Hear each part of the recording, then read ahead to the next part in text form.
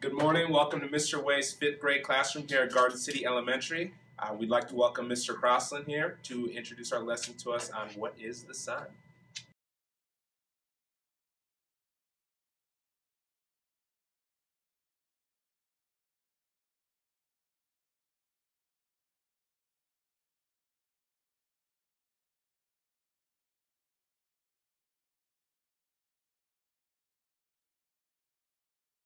Sun. In fact, I will tell you also that this is a model, and like all models, there's some things it can do and some things it can't do. And the thing that I hate about this model is it's wrong. The scale is wrong. I can't really show you the right scale. If this was the sun, the planets would not be that close to it, and the planets would not be that size.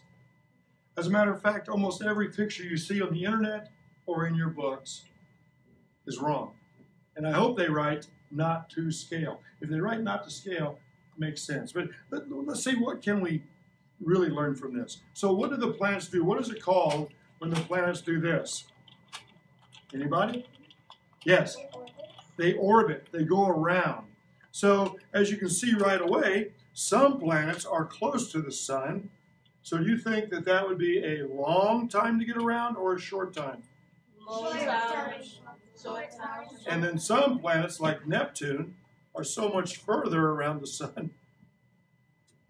Short or long time?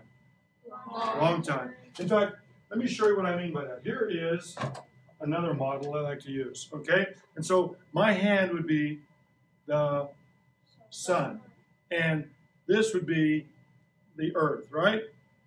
So the Earth does two things. First of all, the Earth will do this. Ready? Can you see this?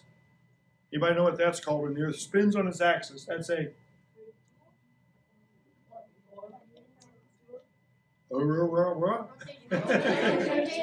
uh, speak in words. Uh, it, I heard it over there. It is rotate. Rotation. This is day, night, day, night, day, night, day, night. If that's rotation, then what is this? Orbit. Orbit, or the other R word, revolution. This is rev- everybody say revolution, Revolution. and then say rotation. Rotation. Now here's what's really happening. My fist is the sun or the Sol. So we're rotating and revolving. Is it still rotating? And revolving. So this is day night, day night, day night, day night, day night. Guess what this is? One year, two years. Every time it goes around the sun, that's a year, re- revolution or orbit, right? Now I'm doing this in a circle. It's not really a circle. It's more of a this part's longer, this part's shorter. Longer. It's more of a an ellipse, you know, like a flattened circle. You got that? So how many times have you been around the sun? How old are you?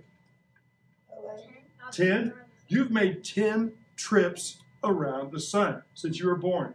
You were probably born right about here one year old, happy birthday, two, three, four, five, your parents might give you a party, six, seven, eight, nine, ten, and you're somewhere over here. Now, uh, I've been doing this for a long time, a real long time. I have made 61 trips around the sun. Does that give you any idea how old I am? Uh, yeah, I, on Fridays I look older. Now, but check this out. What if you're Mercury? Mercury is the planet closest to the sun. What would that orbit look like? What would the orbit look like? Yeah, we'll do it again. Right? Here, here. This is Mercury. Ready? Whoa, whoa, whoa. In fact, I think it's something like 88 days. Next week, you're going to pick the inner planets, and, and kids can start a planet journal. And if you pick Mercury, the orbit of Mercury is like 88 days. Now, if I lived on Mercury and I had a birthday, first of all, I can't live on Mercury. There's no atmosphere, it's too close to the sun, and there's no food or air. But if I lived on Mercury, look here, check it out 88. So I'm 61. What's uh, 6 times 8? So we're talking about, oh my goodness, I'd probably be about almost 200 Mercury years old. But those are Mercury years, so that doesn't count. Still, I'd still be 61. But so here, here's the Earth's orbit. and here is, if I make this shorter, here is Mercury's orbit. So you should stop thinking, what is, what's a planet that's way out there? Let me help you figure this out. My very eager mother just served us nine, um, I used to say pizzas, but Pluto is no longer considered a planet. And when I first heard that, I got real upset. I said, How dare you take away my planet? my very eager mother just served us nine pizzas. So I changed it. And I found out why. If you look, Pluto is so far away from the sun and it's so small, they don't call it a planet. They changed it to a, anybody know? A dwarf planet or a planetoid. And here's why. Out here, far away, there are over 5,000 things like this. We'd have to come up with 5,000 new names. Pluto 1, Pluto 2, no. So we call this a dwarf planet or a planetoid. But these guys, they, uh, Neptune, so now I say it like this My very energetic mother just served us nachos. It helps me remember the planets. So let's take a look at Neptune, right? Oh my goodness, this gets dangerous. Okay, so Neptune's orbit is way out there, right? Yeah. See how I can watch out. You don't want a planet to hit you. And so if you live on Neptune, what? If you live on Neptune, uh, you wouldn't even have a birthday because I, I don't know. You have to look it up, but I think it takes over 170 years to go around. Now, just oh, think about the sun. If you're the sun and you're on Neptune, you look up in the sky. Are you going to get a sunburn? No. I doubt it. The sun is going to look like this little bitty fuzzy speck, so far away. But you know, okay. Here's my last question for you. And you- if you before if you get on Jeopardy or Who Wants to Be a Millionaire, before you answer this question, call Mr. Wey or call me because we'll help you. Of course, we're going to get some of the money, right? So here's my question: What holds what holds all of this together? What's holding these planets together? Yes, yes. But what's what's the thing, the force that holds no, let me show you what happens. There's something holding this, because here's what this planet wants to do. Yes, what is it? From the sun, it's the sun's gravity. Yes. Watch what happens. My this string represents the gravity force. The planet wants to go and keep moving, rotating. The sun holds it. Here's what happens if there's no gravity. Are you ready? Three, two, one. You've just been destroyed by the planet. Okay? So here's what here's what Isaac Newton, when he studied laws of motion, he says an object wants to go in a straight line unless it's interrupted by another force, basically. Ready? So this is this wants to go like this. This wants to go like this. Hey, I'm two for two. But what holds it from going in a straight line? What's pulling on it? Gravity. Gravity. Now here's our question. You probably have seen movies where there's astronauts floating in space, right? So here's the question. And think wisely, young one, before you answer this, because you may not get the money. Is there gravity in outer space? No. No. Gravity. If there is no gravity, then we'd all be dead because that would happen. So is there so my question is, is there gravity in space? Yes. Yes. There has to be gravity in space because without gravity in space, all these planets would leave. Okay, I want you to think about that for just a second. Okay, so let's get back to what the sun is. You know the importance of the sun in the solar system. My two volunteers, come on up here. So remember I told you that most of the pictures we see are not to scale? I thought that might be good. What if I used this? What does this look like to you? a marble, and, and look, you can see, yeah, it's, but it's, it's, I, I painted on there the continents. So what if we make the Earth this size? How big should the sun be? Now we could draw this in our book, right? I did the math, and if we made the Earth diameter this big, the diameter of the sun needs to be this big. Help me out here, guys. Let's turn it like this, open it up like this. Come over to the side. Oh my goodness, check it out. So, uh, what I'm trying to tell you guys is this, if we did it to scale, this is the size of the Earth compared to the sun. Note we just had a sun drop. now, does that kind of mess with your head a little bit? No. Now the sun, uh, if the sun's that big, though, we would not be that close to it. We'd be so far back. Well, you guys did this activity last week, and we saw that the Earth would be about 68 meters away, so all the way down the end of the hallway. Now, you noticed uh, uh, what the kids have done in my other class? I want you to add to this too. The sun, you're going to learn, has about eight different parts that you need to know. It has a core, it has sunspots, it has a corona, it has solar flares, prominences, and all of this is be- because of all of this, we have life. Uh, do you guys know uh, the story about uh, Goldilocks? You know, this, Yeah. this this girl that breaks into some people's house, Yeah. tears up their stuff, steals things. Yeah. Give me that basketball over there. Well, I'm going to use the word Goldilocks for just something to explain to you. Let me see that. Thank you. So, if you're a planet like Jupiter and you're this far away from the sun, you're too far away. It's like Goldilocks. This porridge was too cold. Wouldn't work. Okay? Hand me another uh, small ball there, please. So Jupiter is too far away from the sun, right? Okay. Here is Mercury. Mercury, besides being a scary skeleton or jack o' lantern, Mercury is too close. The porridge is too hot. Hold that one. Can you hold this too? So this is too close to the sun. This is too far. The Earth, we call that the Goldilocks zone. The Earth is not too hot, not too cold. It's at the right spot for this size sun. So scientists, this is the cool part. When scientists and astronomers look up at the stars and they see another star, because our sun is a star, they look, they, they if they see a, a planet, which means wandering star, if they see a planet this close to the sun, they think probably not life there, too hot, like Mercury and Venus. And if they see a planet this far from the sun, they are probably too cold. But then, if they look at through a telescope and all of a sudden they see a shadow going across the sun, a shadow, that means there's a planet orbiting the sun that might be just right. Not too hot, not too cold. They call that the Goldilocks zone.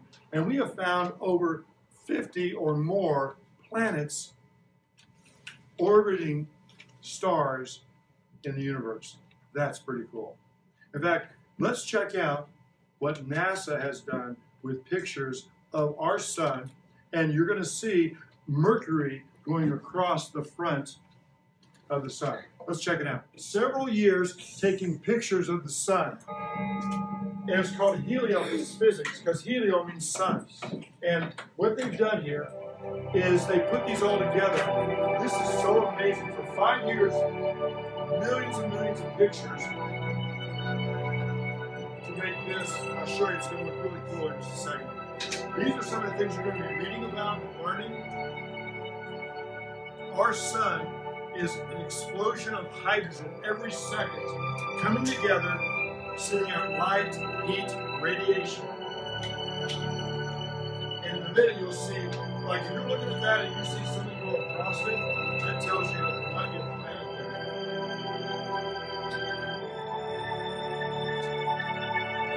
You little bit of this. This is really pictures of our sun up close. Now, if you notice, you can't look at the sun because it will destroy your eyes. But they're using special filters. Here is Mercury going in front of the sun. That is so cool. We have solar flares. The gravity is so strong. You know, we know a lot about the sun. If you want to be scientific, call it the heliophysics. Helio means sun. We have a core, we have a corona, a photosphere. That is so cool. A photosphere and these prominences. Okay, so what I hope to tell you is if you look, uh, now, does anybody have their mind kind of blown yet? Have you learned anything new yet? Yes. I gotta tell you something, this is kind of weird or cool. Check this out. Where's my two helpers again? Come on up here. Okay, now, this involves some math, so I need to get your math heads on, all right? Science, we use math. Math is the language of science. Okay, so the, the sun, the sun is 93 million miles from here. 93 million miles. Do you have a calculator on your on your phone? Okay. All right, light. Here's here's what I'm saying. If this is the sun, if we could turn it off, if we could turn it off, how long will it take for that light to get to the earth? Any idea? Let's pretend we could turn off the sun. Oh, do you need to you need to know how fast light travels, right? Does anybody know how fast light travels? Scientists say that light travels 186,000 miles per second. 186,000 miles. I mean, I turn on a flashlight, boom. So here's my question. If we turned off the sun, how long would it take for the sun to be dark? Because it's 93 million miles away. So let's take 93 million. Um, oh, it's 186,000 divided by 186,000 miles per hour. How many, uh, uh, okay, uh, am I doing this right? what number did you get? 500. So that's going to be 500 seconds. Divide that by 60. 8.3. About eight minutes, about seven or eight minutes, it would still shine until it went dark. So this is the really weird part. If you look at a star, that star is so far away that the light coming to you, ready? Here comes the light coming to you. That light has taken thousands of years to get to you. This morning when I was driving to Garden City, I saw a planet up there. I saw Mars. And when I saw it, I was thinking, okay, the light went from the sun, hit Mars, bounced off of that, and came all the way back to us. And that took about 20 minutes, 30 minutes. So what I'm trying to say is things are big and they're far apart. We're going to try to figure this out, okay? So we need to talk about something called scale. Scale, all right? Now, last week you used a scale to make a solar system model in the hallway. And the scale used last week was how far are the planets from the sun? So we're going to talk about scale diameter. Does anybody know what a, a, a diameter is? A diameter. It's a ge, uh, it's a uh, geometry. A geometry term. Anybody know what a diameter is? Yes, sir. It measures angles? Um, you're close. Uh, that's a uh, protractor, measures angles, but the diameter is a measurement. So you got that part right. So here's a circle, right? With a center, kind of. What is the diameter? Sometimes we call that D I A or D I A M. So what is the diameter? Anybody? The distance, yes. Um, that is like, off of the south. Excuse me? Off of the south. a diameter is all the way across a circle, right? So this is called a diameter. See that? Half of that, right here in the middle, half of that we call a radius. A radius, sometimes with a small r. So go ahead and make a radius on there for me. From the middle across, another line segment. About there. That is a radius. Okay, so go ahead and draw that on the back of your paper. What is the diameter? Label it DIA. Now, here's the interesting thing. What if the diameter, DIA, right here, what if the diameter is two meters?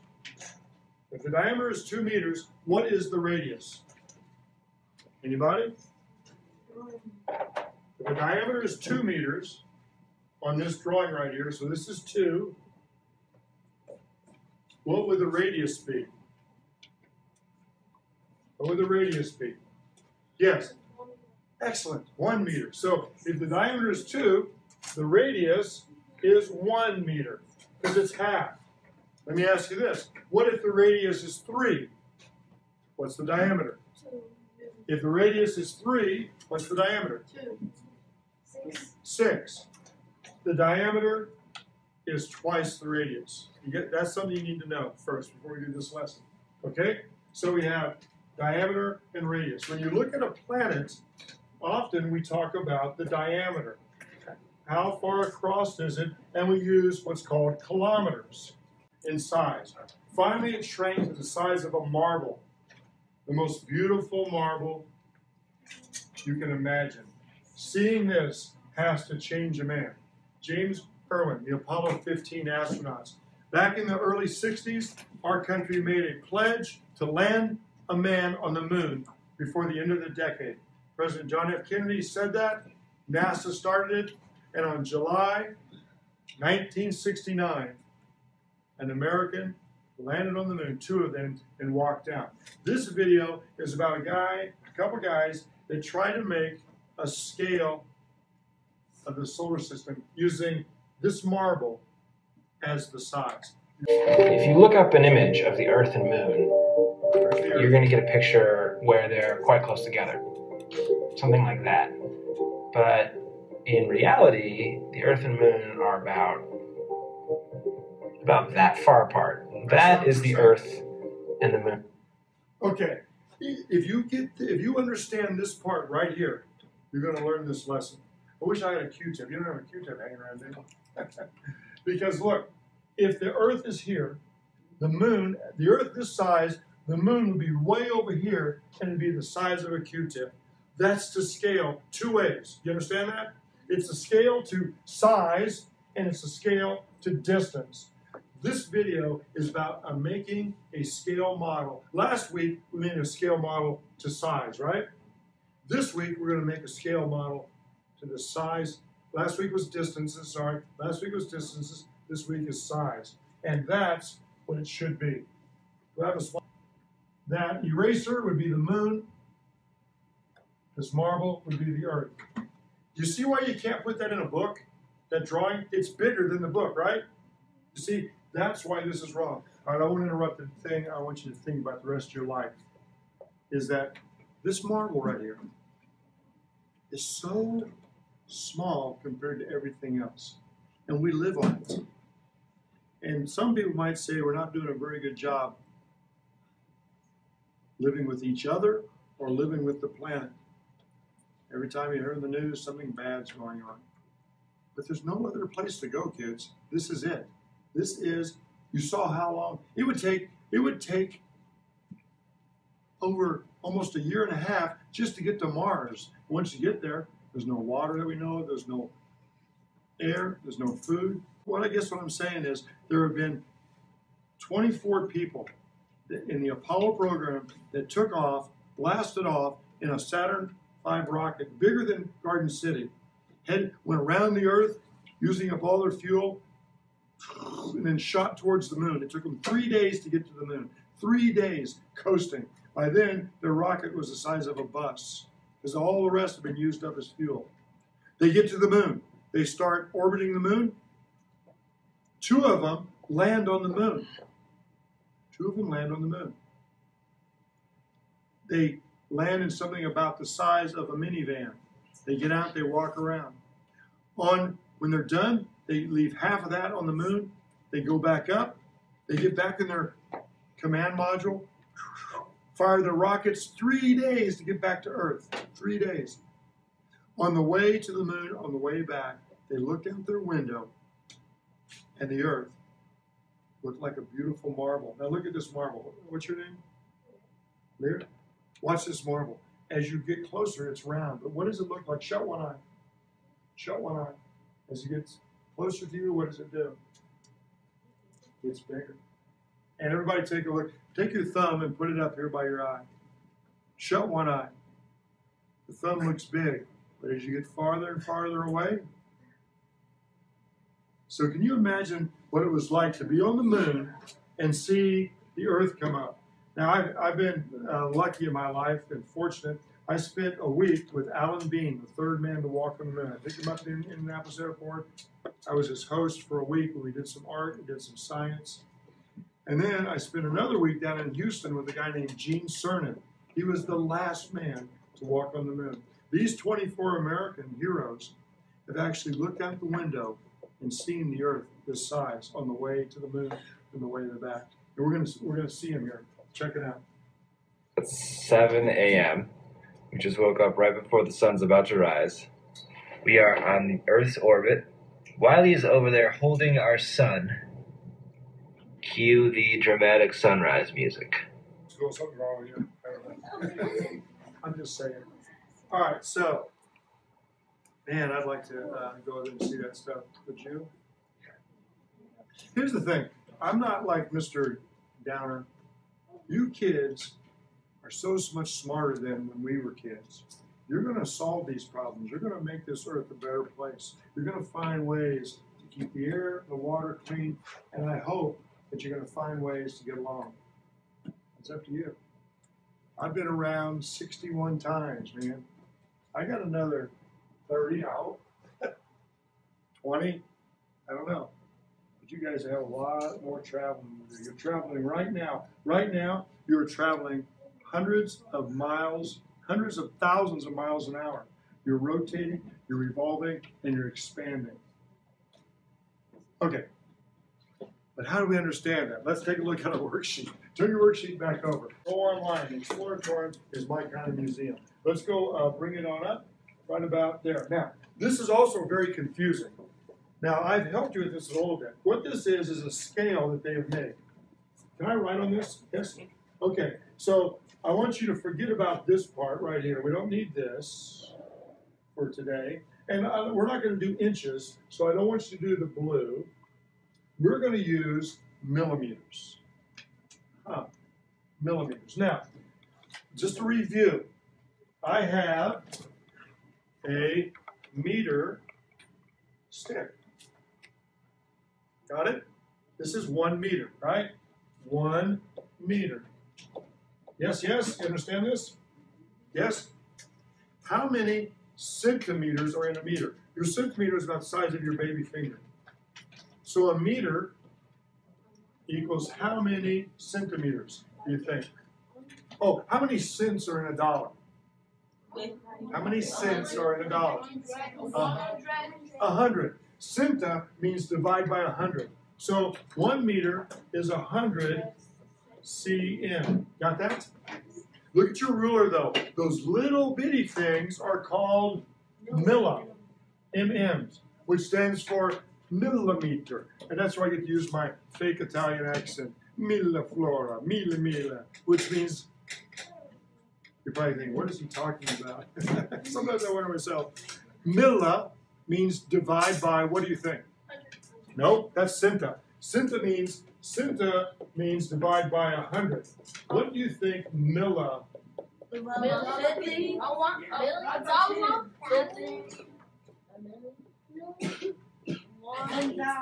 A thousand. So here's the hard question, not on Jeopardy. How many millimeters are in one meter? How many millimeters?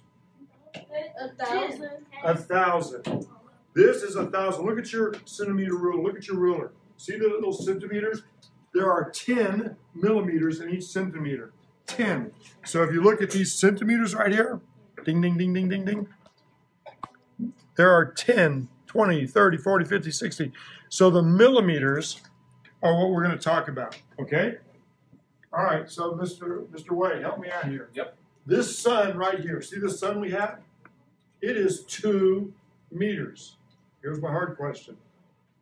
If one meter is a thousand millimeters, two meters is how many millimeters? 2,000, you got it. Type in 2,000 in the green right there. Don't hit calculate yet. And here's what's beautiful about this. Look on your worksheet where it says solar system object, the diameter in millimeters. Right in there on that first line, 2,000 mm. Right, 2,000 mm. Uh, maybe I could write it, okay, 2,000 mm. All right, watch what happens when Mr. Wey hits calculate. You can do this on your own laptops. We're going to see if we made the sun 2,000 millimeters, this is going to populate the diameter. You guys know the diameters. Remember diameter? Yes, yes? So this is the diameter. if the sun, which is called Sol, is 2,000 of these across, do you think Mercury's going to be more or less? More, less. Less. Any idea? Let's find out. Go ahead and calculate. Boom, look. Mercury is 6.9 millimeters. 6.9. You know how big that is? You can draw that on the bottom of your page. 6.9 is about that. It's about that big.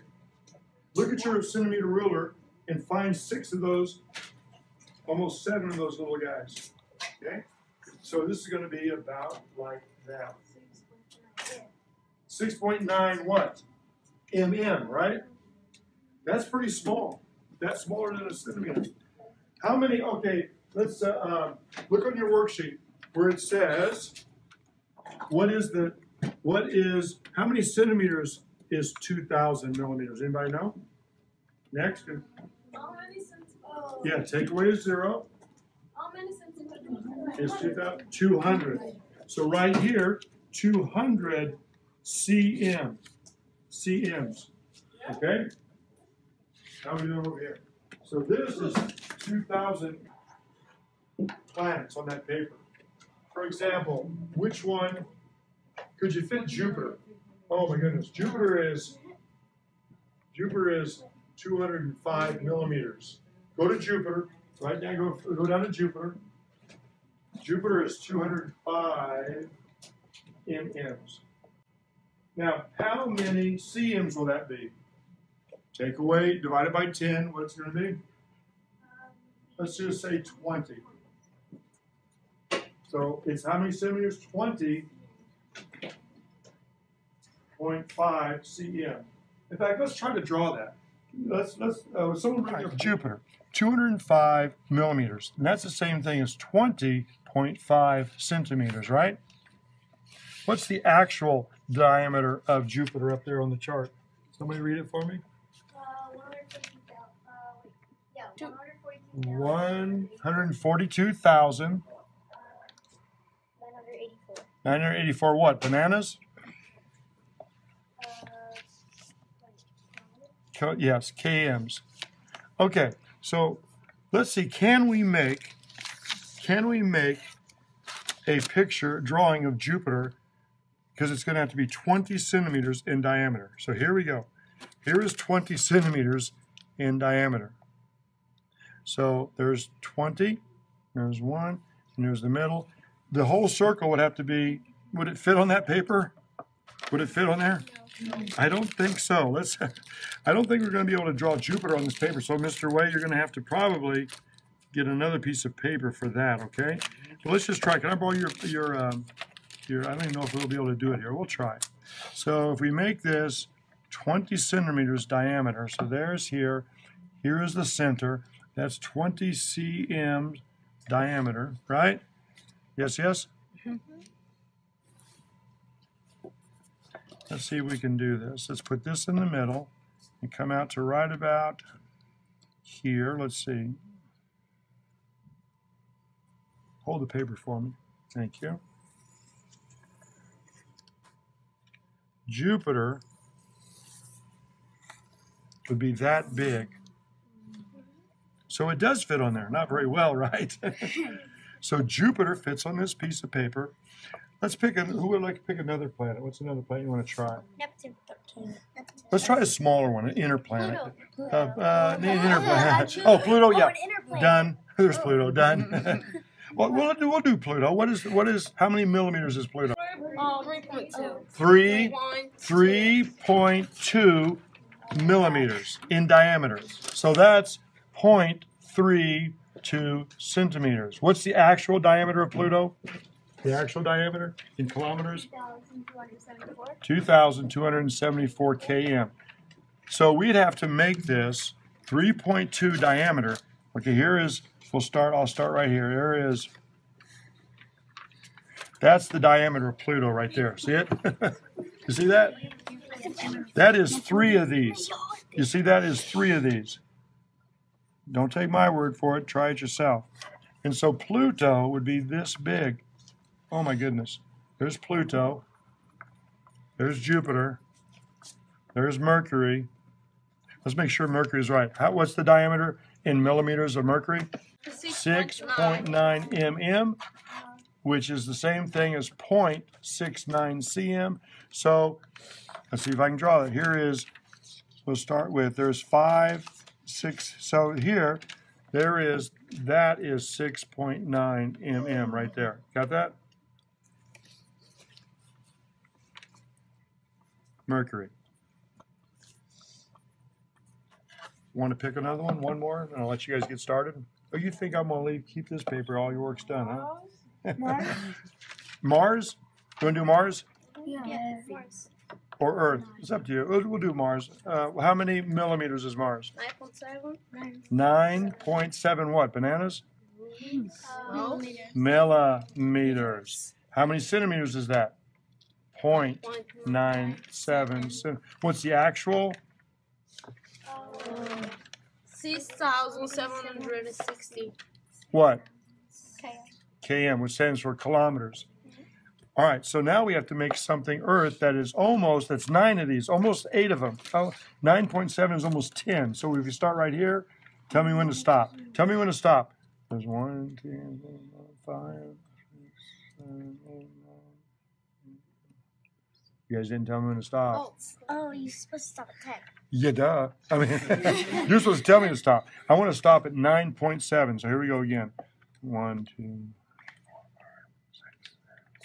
Stop. Stop. Okay, that is a diameter, DIA, a, a point, a point nine seven centimeters. When I was a little bit older than you guys, I took a class called drafting, and we measured in millimeters, and we drew arrows and circles. It was very exacting.